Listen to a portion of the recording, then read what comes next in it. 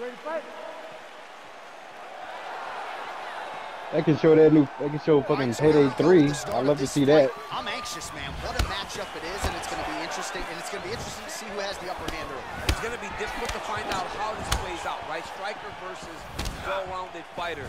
Who's going to be the one that's going to control where this fight takes place? What is even going on? Up nicely in terms of staying heavy and also staying active. Big punch lands. I'm not gonna miss the end of this. going to follow this one up. They're certainly getting after it early. Something good happening at the end. He is all about that left kick to the body. Very tricky when he throws that body kick. Nice one-two there. Nice head kick.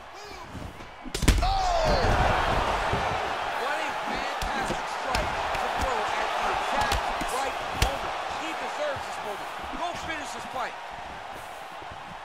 Well, straight right hand has been a good weapon for him. He misses with it there. 883. Big. Now we get back range. What the heck is this? Fine matter. What the heck is this? Oh!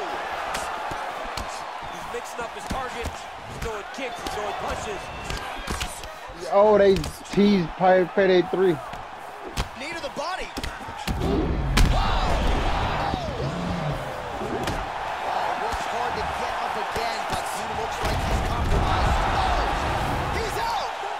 Painkiller already.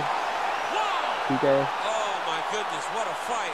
Yeah, there's another one for the highlight reel, and that's probably as good a knockout as he's had in the UFC. Just a perfect shot to end the fight. Crowd absolutely loving it. Flush land to close out his Straight opponent. Not even sure the other fighter saw it coming, so a big knockout for him. Oh, only to tonight on Xbox. the biggest of stages. So why do I care? And there he is after a massive knockout here tonight. Near King perfect King execution, And a seminal moment for him here in the octagon tonight.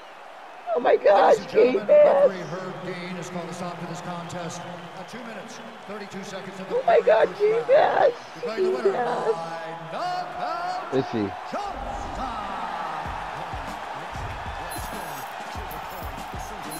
Oh. Is it, is it one of these, uh,